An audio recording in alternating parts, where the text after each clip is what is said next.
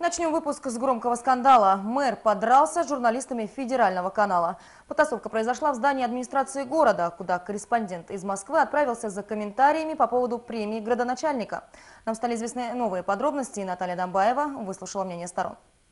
Съемочная группа федерального канала «Россия-24» прибыла в Улан-Удэ сегодня утром. Приехали они к нам для съемок репортажа о пенсиях VIP-чиновников. Согласно нашим источникам, журналист Артем Кол до прихода в мэрию был в Народном Хурале а, и брал интервью у одного из депутатов республиканского парламента. Затем он направился в администрацию Улан-Удэ, чтобы напрямую спросить у Александра Галкова о начисленной премии в размере 320 тысяч рублей. Однако вместо ответа он получил отпор.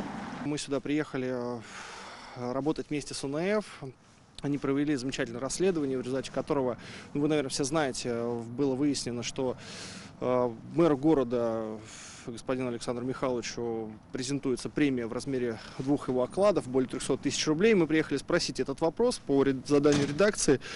И сегодня в 2 часа дня мы зашли в, в мэрию, совершенно прошли через центральный вход свободно, нас даже никто не спросил документов. А, зашли в приемную, где, ну, по закону о средствах массовой информации, в первую очередь, конечно же, представились, а, сказали, что мы ведем запись, показали свое служебное удостоверение, что мы журналисты, и попытались зайти в комнату к мэру города. Нас уже начали дергать за рукава, хватать за камеру. Оператора стали хватать, и э, всячески препятствовать нашей деятельности. Мы зашли, а, собственно, мэр нас встретил, вышел из посольного помещения, мы представились, опять-таки сказали, что мы ведем запись, и показали служебное удостоверение, нам предложили сесть, но не то было время, чтобы садиться. Собственно, мы сразу стали задавать вопросы, а, почему такая премия, почему такие цифры, какая реальная зарплата. Господину мэру надоело общение вот в подобном формате. А, собственно, человек стал выходить из кабинета, но продолжали задавать вопросы, то есть я спиной уже подходил э, к выходу из кабинета а, мэра, и тут, собственно, меня он начал выталкивать из кабинета, то есть я ему предупредил, что мне больно, потому что, ну, довольно сильные толчки были в живот. А потом заломали руки, и вот понеслась вот та потасовка, которую мы сейчас хотим и показать общественности. А, вот, Кто когда присутствовал? А, присутствовал точно пресс-секретарь, были помощники.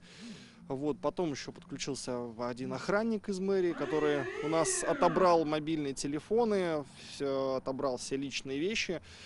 И на то, что мы говорили, что это противозаконно, что это ограбление, это уголовная статья, то есть человек наоборот еще угрожал, что сидите, молчите. Как бы, вот. ну, благодаря сотрудникам полиции все-таки мы все это вернули, они приехали вовремя, а то потому что уже там господин мэр стал говорить такие фразы, там вот, если бы ты мужик был, то мы с тобой по-другому поговорили, то есть, ну, вопрос, а как по-другому, я не знаю, как он по-другому, может, у него какие-то есть другие методы.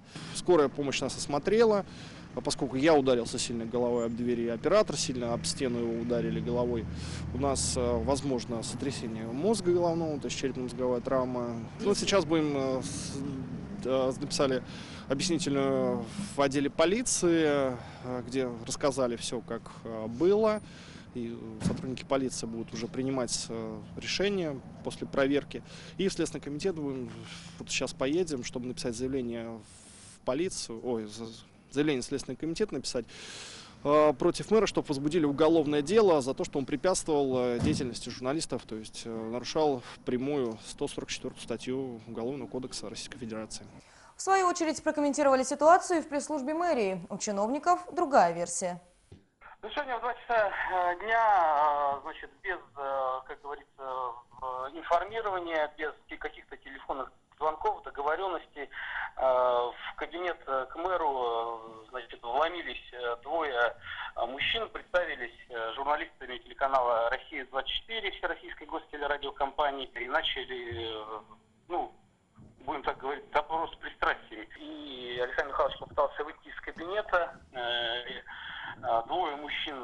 перегородили а, ему путь из кабинета, хватали за руки, Э, В итоге э, один из э, э, этих, э, этой съемочной группы, группы э, ударил мэра, Голова, мэра города Голкова Александра Михайловича э, по голове э, микрофоном. Э, Мы считаем, что это политически спланированный заказ. Заказчики нам известны. Э, Мы будем отрабатывать по всем этим моментам. Этот политический заказ в первую очередь направлен на дискредитацию городской власти.